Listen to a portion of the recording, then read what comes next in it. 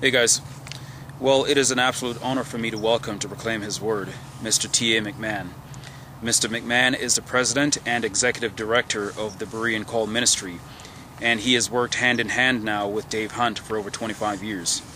Mr. McMahon authored and co authored several very important books, such as The Seduction of Christianity, The New Spirituality, and Showtime for the Sheep, which was a very critical analysis of the evangelical church's embrace of Mel Gibson's very Catholic movie, The Passion of the Christ. Mr. McMahon also wrote and produced several Christian documentaries, such as The Cult Explosion, The God Makers, The New Age, Pathway to Paradise, The Evolution Conspiracy, A Woman Rides the Beast, Israel, Islam, and Armageddon, and Psychology and the Church. Now, I requested an interview with Mr. McMahon a few weeks ago, and he graciously accepted. So, this is a conversation that we had yesterday. God bless. Well, T.A., welcome to Proclaim His Word, brother. It's a pleasure. Here we are, Sycamore Canyon. It's great, isn't it? Yeah, A little chilly, but it's all right. it's okay. I'm down here. This is Southern California, folks, and uh, I just came here from Bend, Oregon. 20 degrees, so we're loving it. Oh, yeah, this is great, man.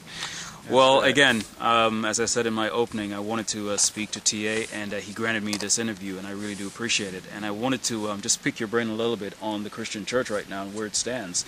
Um, the first question I have is uh, what is your evaluation of uh, the condition of Christianity right now?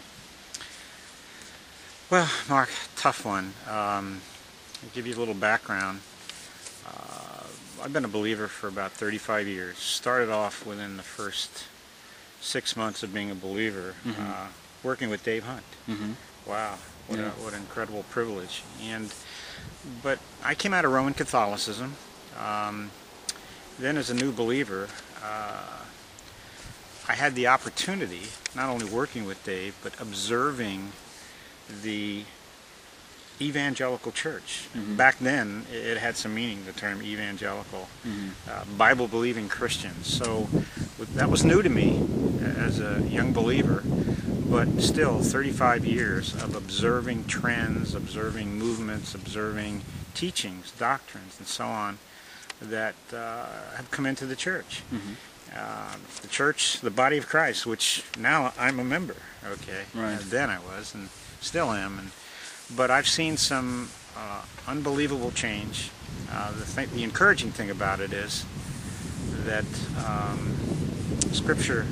This is this is the Scripture prophesied this. I'm Mhm. thinking of uh, in, in uh, Timothy where it says, "The time will come when they will not endure sound doctrine." Mm. And uh, if I could pick one scripture out of many that uh, relate to the last days, uh, apostasy, things that are going to develop, um, that would be a key. So, uh, to answer your question, uh, the church has come a long way, Mm-hmm. or in my view, um, has slid down a long way into into apostasy. Obviously, God still has His committed believers. Mhm. Uh, there's still strong churches out there, but they are rare. Mhm. Um, even solid churches uh, throughout the, uh, three decades. Uh, some you, you look at today and say, "What happened?" Yeah. So it's a concern, but it's it's uh, the Word of God prophesied that this would take place, and uh, we're seeing it, even though it may grieve us. Mhm. Um, on the one hand, on the other hand, uh, we're seeing where God's Word fulfilled in our time. Yeah. Um, do you have any, any kind of examples you can give us as far as apostasy? Well, uh, see, this is what I love about what you do. when, when I first contacted you, Mhm. I was excited to see, you know, what you were presenting, um, and uh, so I know that, as I said, God has His people out there who are proclaiming the Word, teaching the Word, and that's what it comes down to. Mm-hmm. The B I B L E. That's That's right. the book for me. You That's know, for 35 years as a 30 some years as a Roman Catholic, Mm-hmm. uh, never read it. You know, Right. wasn't never encouraged to read it and so on. But in the process of these things that I've just mentioned, these things that are taking place, uh, the solution, the, the antidote, the prevention comes out of reading the Word, hmm studying the Word, Memorizing um, scripture. wi- without a doubt. Um, you know, the Holy Spirit can work out of a vacuum, but He doesn't usually. Right. Okay. So consequently, we need the Word in our heart and mind. Now, based on the question that you asked, so- so what has gone wrong? Where, where have things gone south? Well, if you look at the trends that, that have uh, affected the church over the last three decades, you can point to things like seeker-friendly, seeker-sensitive, uh, our young people, entertainment, uh, as opposed to discipleship. Uh, all these things have weaned evangelicals off the Word of God. Um, that's been the basic problem, the main problem. But the good news is that's the solution. We get back to the Word. Yeah. And you think about people like um, Joel Osteen, as you said, Rick Warren, and people like that. I mean, um, they have some of the biggest churches in America, and yet they are some of the biggest problems. You know. There isn't any doubt about it. All you have to do is check out some interviews with Joel Osteen when um, uh, Larry King Mhm. interviewed him. What was his answer? Over. and over, Well, I don't know, Larry. Yeah. I'm not sure, Larry. Well, I don't know. He even called uh, Mitt Romney, who is a Mormon, he called him a Christian. He's, he called him a Christian brother. Yeah. Uh, you know, there's a problem from from not only uh, you know Joel Osteen, Mhm. Jimmy Carter. I mean, let's go down the line. Mhm. The- the- this theological correctness, political correctness in, Mhm. in, in theology Mhm. just opens the door to anybody and everybody. Discernment, again, folks, that's the that's the issue here. If you're not going by the Word of God, Mm. then you're going by the Word of man. Mhm. And if that's the case, you know, Proverbs twice, there's a way that seems right unto a man, but the end thereof are the ways of death. Mhm. You know, when the when the Holy Spirit says one thing, you pay Mhm. attention. When he when Yeah. he repeats himself, you, you know, I mean, it's really critical. So, uh, Yeah. so that's what we're seeing. Yeah. Well, you know, you you look at quote unquote Christian America right now. Um, what what is your view of America right now, as far as um, morally, spiritually, financially, politically, everything? I mean, because I think everything that we're talking about, um, the demise of the Christian church, does affect America as a whole. So, how do you see America right now? Well, uh, I just go by what the Word of God says. I try to. And uh, although it doesn't single out America per se, but, you know, America's in the world. Mm-hmm. I mean, it's the world. The world, when you deviate, when when the church, which is supposed to be the light, Mhm. uh, you know, to the world, when that starts to go dark, well, Mm-hmm. you're going to expect everything else. When when the church is in the world and the world is in the church, we we got serious problems, Right. and we're seeing it. Uh, uh, you know. Um, I'll give you. This may sound like a side note, but but it's not. We're talking about prophecy Mm-hmm. uh, and how the Word of God says that things are going to uh, play out in the last days. Mm-hmm. Well, um, try this prophecy. Uh, Mark my words. In the last days, there will be perilous times. Mm. Men will be lovers of their own selves. Oh well. Mm. And then, folks, you, you go to that scripture, and uh, this is 2 Timothy chapter 3, verses 1 and 2, but then you go 3, 4, 5, 6, you see the Mhm. fruit Mm-hmm. of self Mhm. and self-love. Mhm. You know, and I've had people tell me, well, Tom, you know, I mean, so this is prophecy? You know, come on, we've always, since the Garden of Eden, we've always been Mhm. into self. And so, Mhm. True. However, uh, you find a generation, any generation in history, in which self has become the solution to mankind's problems. Self-esteem, self-love, Mhm. self-worth. Uh, this is all humanistic psychology that Scripture says in the last days this, this is going to be magnified over any time in history. Mhm. Hey, is that our day or not? You know, this is, um, I've said many times before that we are probably the most self absorbed generation in the history of man. You know, as you just said, self, self, self, me, me, me, I, I, I. It's, um, that's what this entire generation is all about. You know, and uh, sad to see. Um, what do you think about the ecumenical movement? I mean, as far as, uh, because we know the Catholic Church, you, uh, Mm. because uh, I, I think you were Catholic for how many years now? 30 years. Well, right. My- you, And uh, at the end, I said, "Oh, come on! I was born a Catholic. I'll die a Catholic." I Right, mean, you know, right. Not practicing, Right. but still a pride thing and so on. So yes, I've had uh, uh, grade school, high school, Catholic military school, and even in college, I was in uh, Catholic fraternity for a short time. So, you know, I, I believe that, uh, you know, probably for the first 20, maybe 21 years of my life, I was what we called a devout Catholic, practicing, uh, committed, and so on. But uh, Well, and you look at the Catholic Church right now. The Catholic Church is the one that's leading the ecumenical movement. Um, where does the ecumenical movement stands as of right now? th- this is one of the the big issues. Again, we'll put it in uh, uh, prophetic um, perspective. The when you look at the Bible, it says certain events will take place. That um, you know, particularly. Let's start at, uh, at the very end. We know the world dissolves. The world's going to be um, uh, end end in fire. Okay, Second Peter because God, yeah, yeah. because the Lord's going to create a new heaven and a new earth. Mm-hmm. So prior to that, we have uh, a thousand year Reign of Christ. reign of Christ. Mhm. Okay, uh, it won't be perfect. Mhm. Well, why not? Christ is reigning from Jerusalem. Why won't it be perfect? Because some who are born during the millennium, uh, they go along with the rules, Mhm. but they don't make a heart's commitment to Christ, not in their heart. So when Satan is unbound from, you know, and uh, released, Mhm. uh, many follow him. Yeah, Revelation chapter 20. Right. So that's a thousand years. So what I'm doing is starting the back end and then moving forward. Well, what precedes that? Well, certainly the second coming of Christ, so that he can, be, you know, rule through the, the, the thousand years, the millennial reign.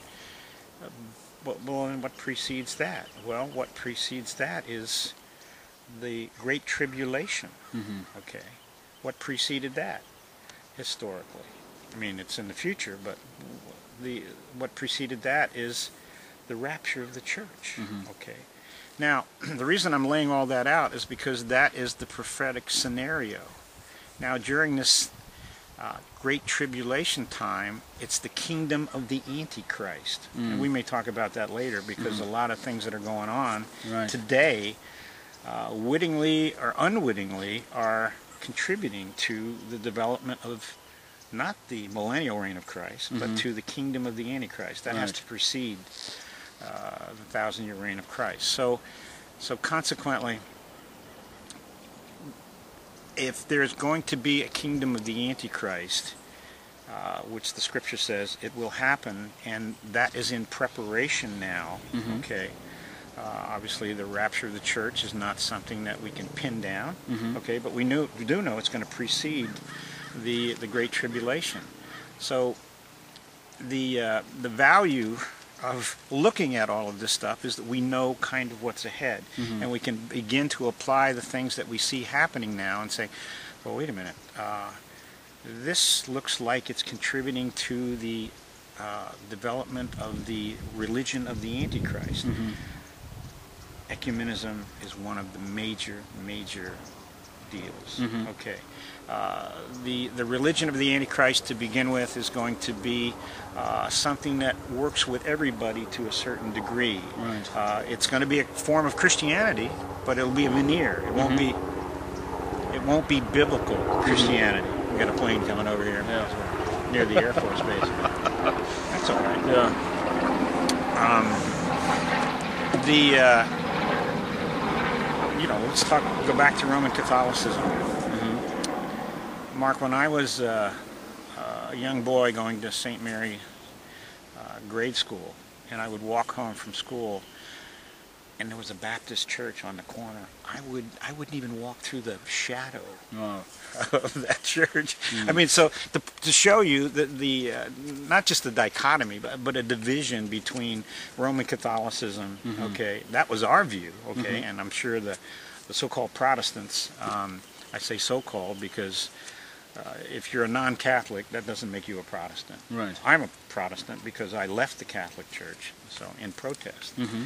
but basically uh, the the mentality was uh, such a division between Roman Catholicism and um, you know, particularly biblical Christianity or those who are, who are non-Catholics.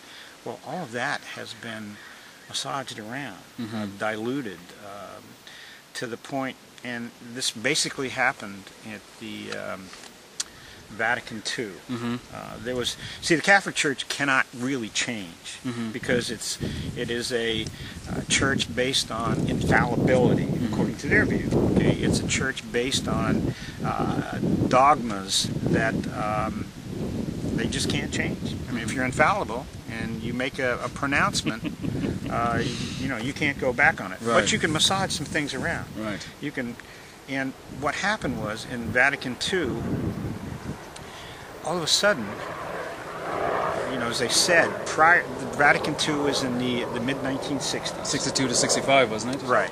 With Vatican II, um, as you mentioned, in the mid 1960s, early early 1960s, uh, the prior to that, you had uh, non-Catholics were not saved, were not uh, believe, you know, they, they were not Christians as far as the Roman Catholic Church was concerned. Mm-hmm. Um, after Vatican II, if you were a non-Catholic but a baptized non-Catholic, Mhm. okay, then you were what, what they called separated brethren. Mm. Okay, Mm. so uh, you're sort of in the fold, but you're not in the richness of the Right. mother church. Right. And uh, well, that was different. Mhm. Okay, that was a big change from what I mentioned earlier about. Man, I wouldn't even you know go go through the shadow of, of a Baptist church or Mhm. whatever. And other things began to happen. Uh, the Roman Catholic Church became, quote unquote, more evangelical. They Mm. started to think like evangelicals on the surface, okay, uh, interact with evangelicals to the point where um, now there wasn't this sharp division. Now that was massaged around. So, Mhm. so we're talking about ecumenism here. This is the way the Catholic Church uh, became more effective in this country. Mhm. You see, it's history.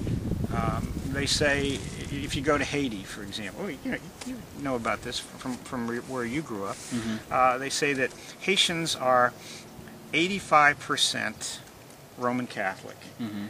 and 100% voodoo, voodoo, right?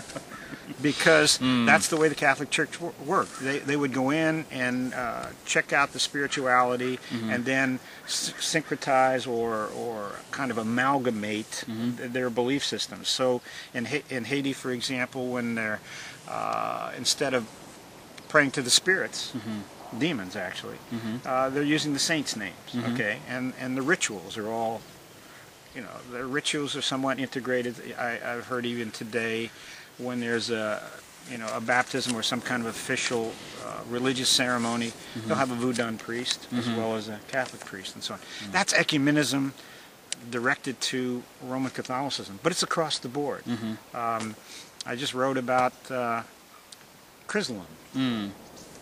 Was Chrislam? I mean, seriously? Mhm. Uh, If you've never heard the term, it's trying to uh, integrate Islam with Christianity. Mhm. So you, you know, and it's it started in Africa. Uh, I mean, you can understand their reasons for it because Muslims are killing Christians and Mhm. so-called Sudan, Christians, yeah, like that. oh, Right. without a doubt. So they're trying to bring peace by combining the 2 Mhm. But uh, obviously, uh, if you're a true Muslim, that would infuriate you. Mhm. Okay, if you're a true Christian, that would wouldn't make you happy either. Mhm. But here in this country now we have uh, Chrislam. That's C H R I S A L E M. Mhm. Just so you understand the the term. Um, and if you're a so they have worship services in which they'll read from the Quran Mhm. and they'll read from the Bible, Mhm. and somehow this is going to bring peace and amalgamate. But as I said, if if you understand the Quran and, and you understand the Bible, uh, this is anathema. This is Yeah. Bad news. It's ecumenism. Yeah. that's the point. Yeah, you think about the Roman Catholics and the ECT in 1994.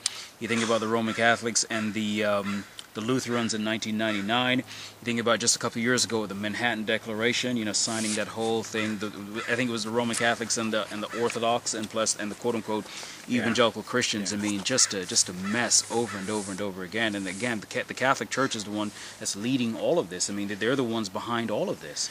You know. Well, and the sad part is. Um, that's true. They, they would take the, the, the lead, but we see this within so-called evangelical Christianity right now. Mm-hmm. I mean, it was Chuck Colson that was a part of uh, ECT, mm-hmm. uh, uh, the World Council of Churches, the uh, uh, there are organizations out there thinking that by watering down, and that's the only way they can do it. They have mm-hmm. to reduce it to such a common denominator mm-hmm. that. Um, so that it makes sense. But mm-hmm. it doesn't make sense, uh, especially if you know the Word of God. But, right. but Mark, again, we're going back to the basic problem. Mm-hmm. It's the Word of God. Mm-hmm. If you don't, if you're not a student of the Word of God, if you're not, and look, uh, just side note here, Mark and I are talking to you, but we're encouraging you not to buy into what we say just because we're saying it. Test uh, everything. Hey, the Berean call. the Bereans. They Acts search, 1711. They yeah. search the scriptures daily mm. to see if these things are so. So unless you do that, you're up for grabs. Mm. There's nothing uh, that they can't put over on you if you can't hold it up to the Word of God because you don't know the Word of God. Mm-hmm. And what does it take to know the Word of God? Well, you need to know how to read. Mm. But even if you don't know how to read, you can hear it. It's on tape. It's on tape. So on. Yeah. But the point is, you got to get into it. You got to get into it. You got to get into it if you're going to be kept from the seduction, mm-hmm. the delusion, mm-hmm. the deception. Mm-hmm. Uh, you know, what did Jesus say when he when he was asked by his disciples about the last days? Let no man deceive you. Yeah. Take heed. Yeah. Take heed. That's that's the problem. It's amazing how many people right now are going around um, calling themselves Jesus. You know, all these false Christs. You know, we now have a guy in, uh, in Australia, you know, who says that he's um, he's he's Jesus Christ come back, and um, he's got like several dozen followers in his church. I mean, it's um, it's insane what people will fall for um, if they don't know their word. Right. You know. Um, mm, yeah. Well, again, um, you know, when people hear the term doctrine, ooh, that sounds like it's theological. Mm. All it means, folks, if you don't know, it means teaching. Mm. Jesus said, "If you love me, keep my word. Mm-hmm. Do the things that I say." And you can't do the things you say if you don't know his teachings. He wasn't. You know, he also says, uh, again in John 14, "If you love me, keep my commandments." Mm-hmm. He wasn't talking about the Ten Commandments alone. He was talking about everything that he said. Mm-hmm. And if you don't know what they are, how can you call yourself a, follower of Christ yeah. if you don't know? You know, on word? that note, as a matter of fact, on that note, you know, you talk about um, on YouTube, of course, which is where I I do a lot of my ministry. Um, there's a rise of uh, militant atheism you know, the, the atheist. And um, I mean, I see, I've gone on, on a few comment threads and just read a few comment threads where the atheist, um, many of the atheists know the Bible a whole lot more than so-called Christians, and they just rip Christians apart. You know, and it shows you. I mean, it's just pathetic when you see an atheist knowing the Bible a whole lot better than a so-called Christian. You know. Yeah, and how about cults at your door? Mm. You know, um, uh, there's nothing more bizarre than Mormonism, is, in my view. And this is having you know read the Book of Mormon, studied it. You know, I was uh, one of the writers involved on, in the God Makers. Mm-hmm. And uh, uh, but then what about Jehovah's Witnesses? Mm-hmm. I mean, part of the problem. Uh, I've got an article coming up on that. Part of the problem is when they come to your door, they have so many errors. You don't know mm. where to begin with these mm. guys. Mm. But if you don't know the word, and these guys are trained uh. In terms of what they believe and what they teach, mm. uh, they can overwhelm you. Yeah, yeah, yeah. Well, anyway, let, let, me move on. Ask you sure. a little something about the Middle East and what, what's going on in the Middle East. I mean, um, I really want to pick your brain on this. Uh, you see the quote-unquote so-called Arab Spring in the Middle East right now. All of these Arab nations falling one after the other. All Muslims, of course. Um, do you think it's a good thing, a bad thing, and how does it affect um, Israel? I mean, what's your whole thought on that on that whole thing? Because I mean, we just see one country falling after another. One, I think Syria is up next, and uh, and in that in that light too, what about Iran? You know, on the cusp of getting a, a nuclear weapon. I mean, how does that affect Israel? I mean, um, wh- what do you think about that?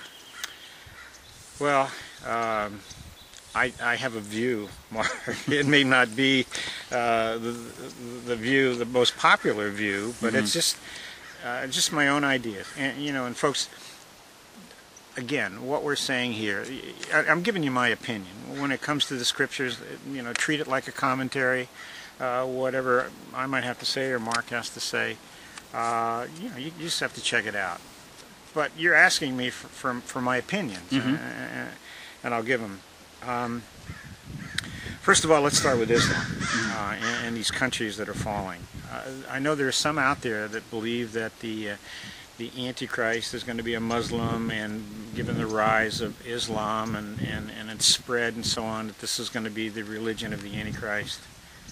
I don't think so. Mm. Now, notice I said I don't think so. I don't know, but but if asking my perspective, you see, to me, um, the religion of the Antichrist initially is going to be something that seduces, not something that uh, compels or uh, intimidates. Um, and uh, Islam has always been a religion of the sword. Mhm. From from Muhammad to his father-in-law on down through history, it has been a co- coercive Mhm. religion. Uh, Sharia. Mhm. I mean, you want to talk about legalism. Um, I mean, it, it, it's it's an insane form of, of, of legalism, Mm. and uh, I don't see this being popular. Right. Um, and I don't see them having the uh, the wherewithal to, um, you know, like they could back in the Middle Ages. Um, you know, when it was by the sword. Uh, Mhm. You know, we've seen what uh, the West has been able to reasonably handle. Oh, thank you. That was a, that was a crow, in case you're wondering, folks. um, but we've, you know, we've seen uh, that we're, we're, they can be stopped. Mhm. Okay.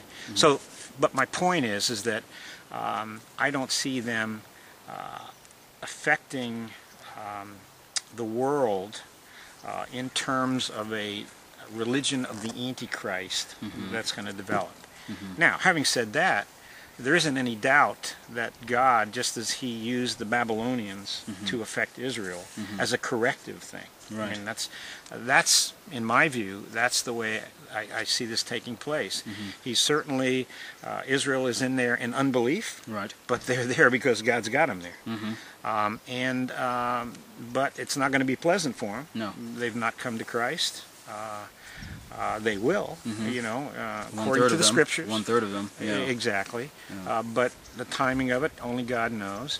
But nevertheless, um, God's words, uh, the scriptures, uh, have, so they might be fulfilled. Mm-hmm. Israel is in that place, 1948. Mhm. Uh, they're there. And I don't see Iran, I don't see anything taking them out. That's right. Um, even, you know, through the series of the wars that they they fought. I mean, you, I mean, uh, you know, I know uh, a friend of mine was a general who went through all those wars, Mm-hmm. Israeli general, and um, the stories that he will tell, you know, God's hand is upon upon that people. So it's not like it's going to be a you know a cakewalk, Right. um, but because God is correcting, He's dealing with them. He's going to get their attention. Mhm. But I don't see any of the surrounding nations. Uh, I don't see anybody taking them out, in, in my view, uh, Mm-hmm. Right. and based on my understanding of the scriptures. Yeah.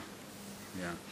It's um on one hand it is kind of frightening to see exactly what's going on from a worldly point of view. You you, you wonder, okay, well what, what's going to happen next? What's going to happen next? But uh, but for those of us who've read the Bible, um, we can take some comfort because we know that a lot of these things were prophesied, and we know that um, when all these things are happening, we can look up because our redemption draweth Right, nigh. Christ is coming back very soon. So um, a lot of people are, you know, very um, worried about what's going on over there. They think there's going to be a nuclear war or whatever. But for those of us who know the Lord Jesus Christ, um, you know what? It's time for us to start looking up because Yeah. Christ can come back at any moment. Yeah, and Mark, so for maybe some who are watching this And they say, well, what makes these guys so sure? Um, what I like to do is fall back on Prophecy 101. Okay? The first coming of Christ. Uh, we have 2,000 years prior to Christ, 1,000 years prior to Christ, 500 years. We have prophecy after prophecy saying when he's going to come, mm-hmm. where he's going to come, mm-hmm. where he's going to be born, mm-hmm. how he's going to. I mean, you can create the, the crucifixion from the Psalms. Uh, uh, you know, almost a, a detailed scenario of it happening perfectly, exactly how the prophets said. So, if we looked at the first coming of Christ and all the, the pr- prophetic utterances, as it were, uh, were fulfilled in every detail, well, what does it tell us about the prophecies to come? Right. I mean, if, you're working on a thousand percent or you know, Right. hundred percent, um, it's going to take place. So that's where our confidence is. Right. And and all we're doing, we're just students of the Bible. We're we're just reading these things. And Taking them literally. right. Yeah. And we take things. Well, you know, that's a complaint. Right. Well, what do you mean? You, you take everything from the Bible literally? well, if that were the case, folks, then we'd have to believe that God was a chicken. Right. Because Has it said- feathers. Yeah, right? exactly. He's got Yeah, wings. right, right. Or that Jesus was a loaf of bread. Right. Because he said, I'm the bread of life. No, no, we take things, and, and that's an important uh, point for people who are just started reading the Bible. Mm-hmm.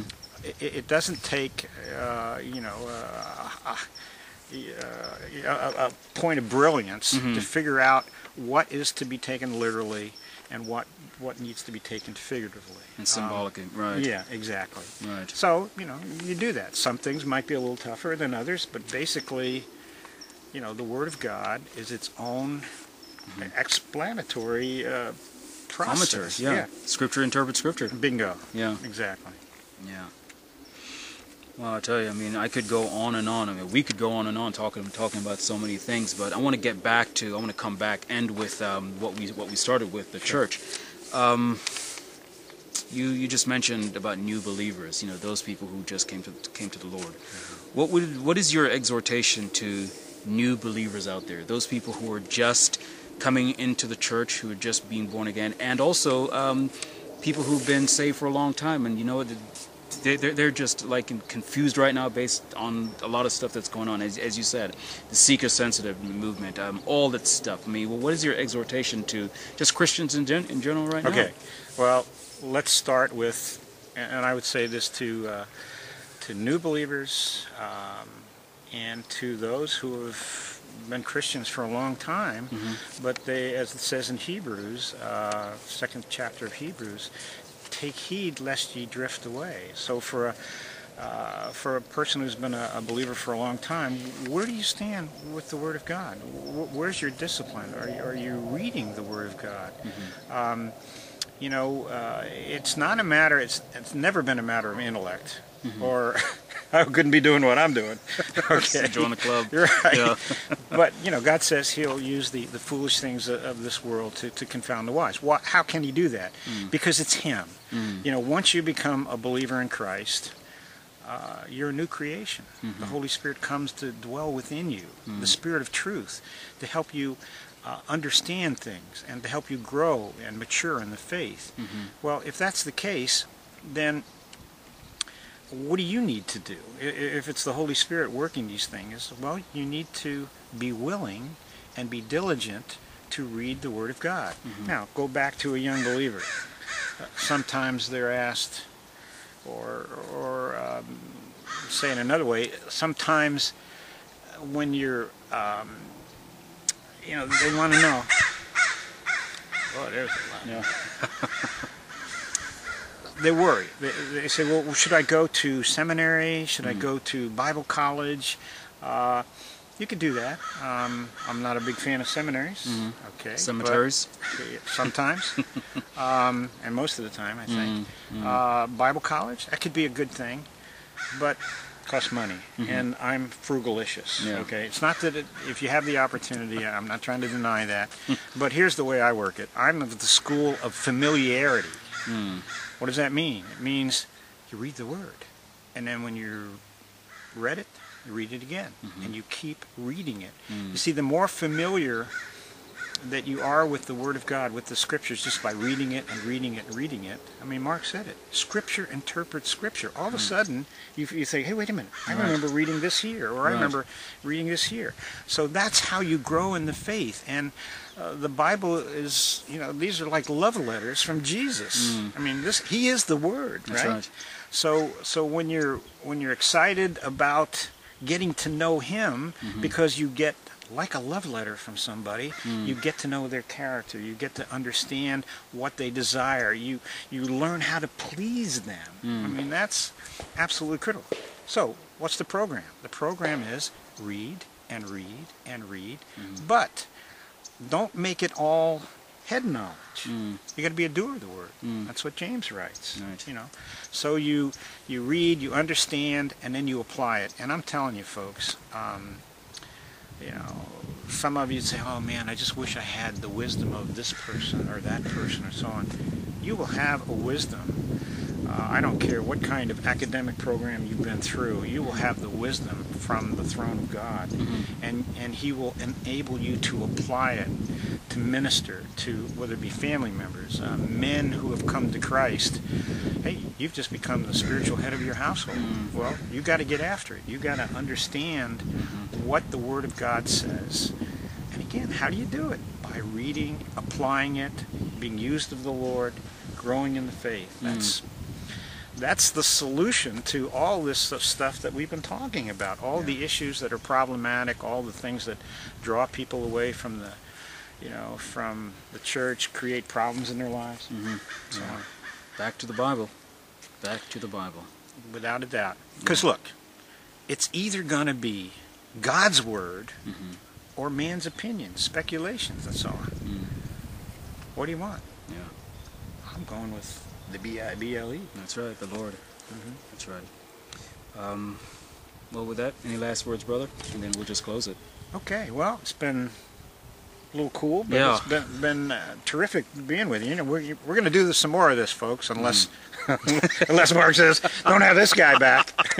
no, you will be back. Okay. Trust me, you will be yeah, back. yeah. No, this is uh, and uh, you know, I want to encourage you Mm. with what you're doing. I know you've been getting some stuff out there for a long time, and that's what we need to do, folks. Um, I don't care how long you've been a believer, uh, how young you are in the faith. You've got something to share, something to give, something to offer. Mhm.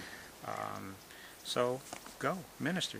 You've been freely given. It's it's a gift. The, well, let's let's close with the gospel. I'll I'll start off and y- you add to it. Mm. You know, maybe again somebody watching this stuff says, "Man, yeah, that stuff's kind of interesting, but what what are these guys all about?" We're about the gospel. Mm. The gospel is that everyone, all have fall short of the glory of God. All have sinned and fall short of the glory of God. Mm. And that sin, I don't care what do you think, oh, just a little thing, that separates you from God forever. Mhm.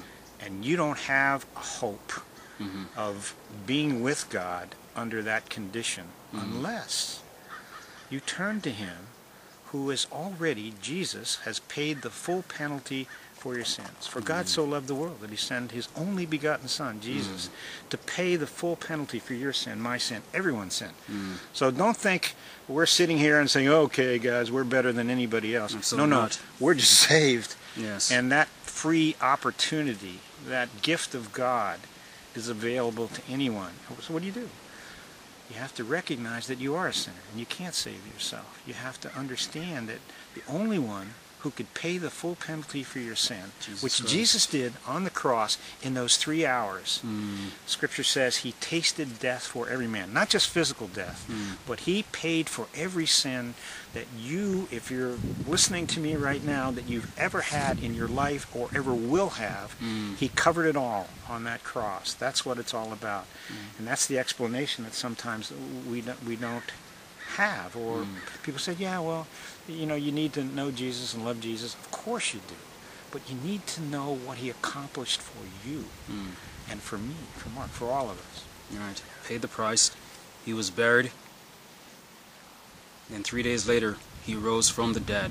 Okay, for our justification. Now he's sitting at the right hand of God, and all we have to do now is, as TA says, recognize that we're a sinner, go to him in humility, fall at the foot of the cross, and say, God, be merciful to me, a sinner, like the tax collector in Luke chapter 18. Go to our Lord Jesus Christ. Just confess your sins to him. Ask him to forgive you. The Bible says he will forgive you. Okay, he will wash you, he will cleanse you, and he will make you a new creature in Christ Jesus. Okay? Uh, You know, one of the testimonies. Well, you're looking at two. Um, talk about a reprobate. I'm talking not talking about you. I'm talking about me. But uh, but y- y- you know, you would amen to that as well. God, Yeah. Christ changed our lives. I mean, that's one of the proofs that we're just not making this stuff up. I mean, Mhm. I see people's lives changed dramatically. uh, dramatically. It's not Yeah. we got all our problems solved. No, No. nobody's talking about that. Well, eventually we will. Absolutely. We'll be with him. We'll be like him. But uh, basically, change lives. If you want your lives changed, Yeah. The only way to go. And if you want to be with the Lord, not separated from Him forever, because that's the only other option. hmm Believe in the Lord Jesus Christ, and you shall be saved. Amen. T.A. McMahon, thank you so very much for coming by, proclaiming His word. I appreciate it, brother. And I'm going to have a link to the Berean Call um, in the information section, so go there, click on the link, check it out. Um, I'm also going to have a link to their um, YouTube we- website because they also they're also on YouTube, so I'm going to have a link to that too. And go over there, check it out, and see what they have to offer. There's a lot of good stuff over there. And uh, brother, thank you so very much. Oh, by the way, one more thing. Sure. How's Dr. Hunt, and how can we pray for him? Okay, now remember, you said doctor, but Dave says, that's okay, Dave says, not only am I not a doctor, I'm not even a nurse. Well, how's he doing, and how? Well, you can pray for Dave. He, he is in a nursing facility. Okay. Okay. And uh, uh, you know, he's it still has a sweet spirit, but he's um, he's not uh, the warrior is no longer. Um, he's wielding a smaller sword in, in in the situation he's in, but he's not. Uh, I don't know. It's it's it's tough, but Mm. the Lord's still using him. We will pray for him. Thank you. Thank you. God bless you guys.